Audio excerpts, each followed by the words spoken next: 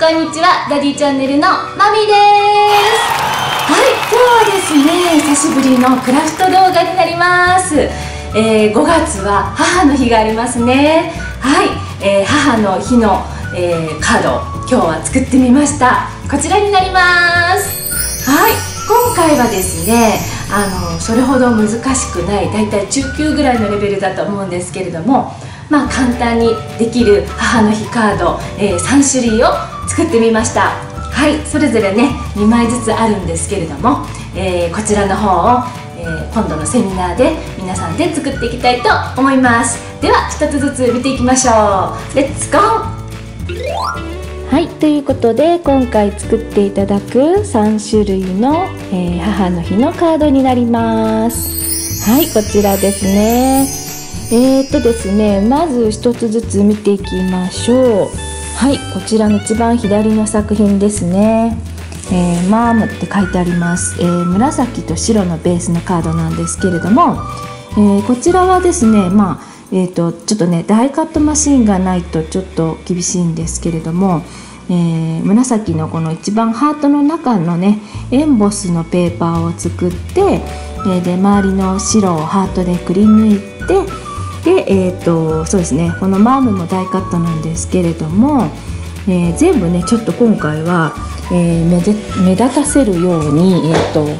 ポップアップして立体にしてるんですよね。ちょっと横から見ていきたいと思いますが見えるかな？こんな感じであこれこういうカードなんですけどね。ここに間にねポップアップが挟んでます。なのでちょっと上に浮いたような感じになって立体になってますね。それからこのね実は Mom っていうのも、えー、とちょっと立体にしたかったので、えー、後ろにねちょっと厚紙を引いて、えー、文字をちょっと立体にさせています。その上からねこのキラキラ光ってるのは Sticklesなんですけども Sticklesを塗ってはいラメみたいな感じでね可愛くしています。で同じようにねこの周りのドットもスティックウズで、えー、ドットを描いていてはいこのねベラムのこのこれが可愛いらしいですよね。ちょっとカードから出てるっていうのも可愛いかなと思ってこんなデザインにしてみました。はい。こちらもね蝶々の色がちょっと違うんですけれども2種類作ってみました。はい、えー、結構ねすぐこちらも簡単にできる19ぐらいのレベルではないかと思います。はいそれでこちらになります。はいこちらはですね最近私がよく使っている、えー、レンジャーから出ているディストレスオキサイドの方ですね、えー、こちらの方のインク今回は4種類を使って、えー、2枚のカードを作成しています。はい。えー、本当インクの世界面白いですよね。あのやっぱり着色するたびに毎回違う色に仕上がるというなのであの本当に全く同じものは絶対作れないというね アートの面白さっていうのがすごく出てると思うんですけれどもはい。なので本当にどんな風になるかわからないんですけどやりながら自分もワクワクできるっていう感じですよね。こちらはですねえっ、ー、とこちらえっ、ー、とディストレスのオクサイドのブロークンチャイナブローケンチャイナかな？と、えー、こちらの色ですね。えーと、シャビーシャターズって書いてあるかな黄緑っぽい色なんですけど、えー、水色と黄緑の2色を、えー、着色していますね。はいで、えーと、この蝶々もね実は、えー、このディストレスで着色をして、え、エンボスで、え、ホワイトで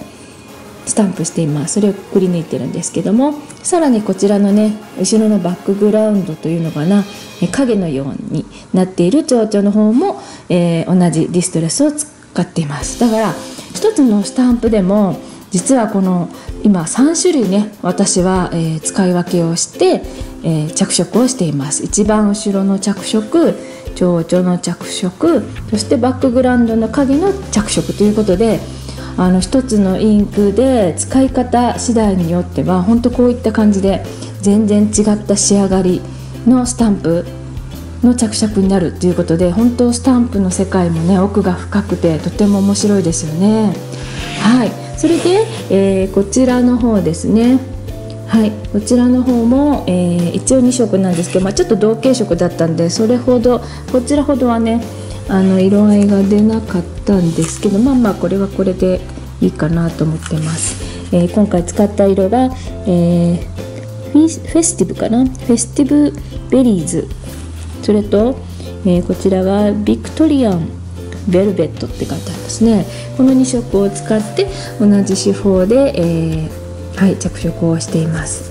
でねちょっと見えるかわかんないんですけども、えー、このラメちゃんをねまたペーパーにかけています。キラキラ光ってるのでね。はい。素敵な仕上がりになりました。はい。それからですね最後のこのカードなんですけども。はい。こちらはですねえーと、生徒さんからのリクエストをいただいて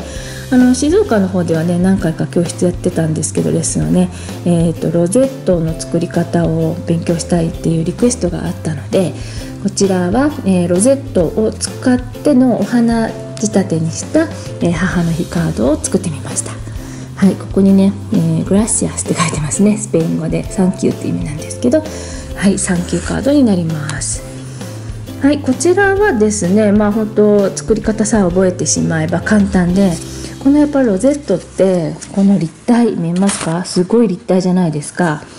これはやっぱりあのスクラップブッキングの方のね作品にでも使えますしあ例えば誕生日とか、えー、何歳おめでとうっていうパーティーのね作品だったりしたら例えばこの中のところにね3歳のお誕生日だったら3っていう数字を入れたりお名前を入れたりね中にここにね入れたりすることによってもっと華やかな感じのロゼットを作ることができますし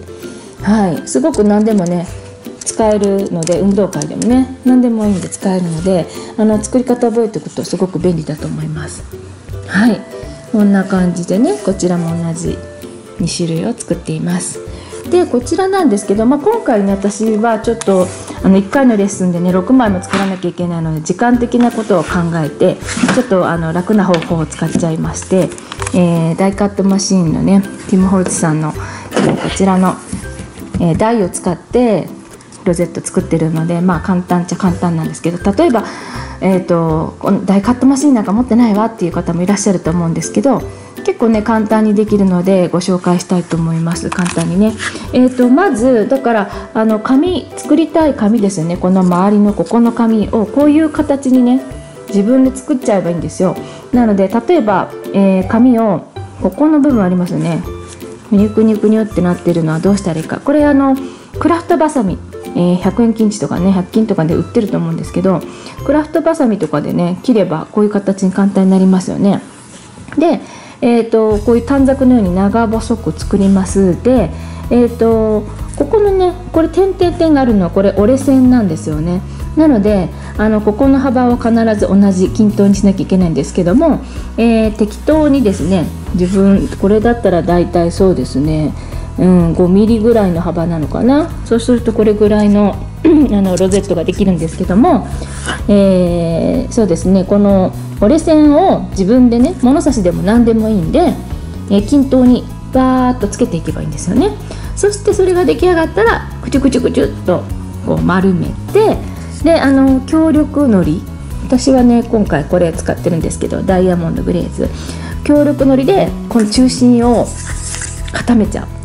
で、まあ、この周り何でもいいんですけど丸パンチでもなんか開けてこういうのね丸パンチでパンチで開けてここで押さえる。それだけでできちゃうんですよね。でもし例えばあのボーダーパンチとかお持ちの方いらっしゃったら例えばこういうやつなんですけどもこのクラフトバサミの代わりにボーダーパンチで形を入れてで、えー、折れ線を入れて作るっていうこともできます。はい。で折れ線なんですけどまあ普通にねあの何も道具がない方は測って物差しとかでバーってつけていけばいいんですけど、えーと、おすすめ商品ですけどもこちらね、えーと、皆さんご存知だと思うんですけどラインカッターっていう紙を切る機械があると思うんですけども、まあ、アメリカではあのオレンジ色のねえ、ー、と今あるかな？オレンジ色のちょっとここにちょうど出てきましたこちらね。はい。あいたえー、こういったね、えー、フィスカーズのこのオレンジの折れ線折れ線じゃないです。これは、えーと、切る機械ですね。ラインカッターがあるんですけれどもえっ、ー、とそれがそれあれはねちょっとね折り場ができないタイプなんですけどこれが、えーと、日本の呉竹っていう会社が売ってるんですけども私、まあ、呉竹の、スクラップブッキングのインストラクターなんですけれども呉竹が出しているこのラインカッターはですねこの白の切り場が変えられてピンク色これ折り場なんですよね。なんでここに、えー、挿入するとごめんなさい反対だからこうですね。はい。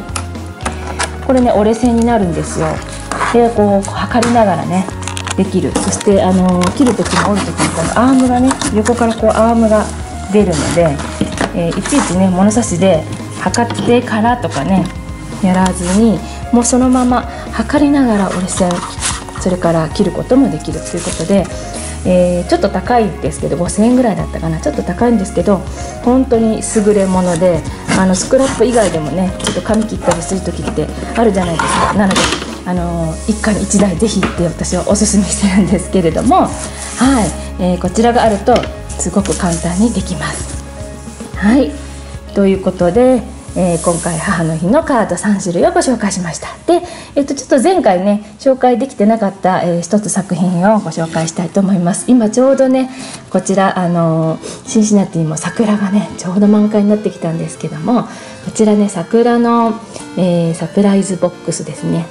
はい。こちらを作ったんですけどこれは何かと申しますと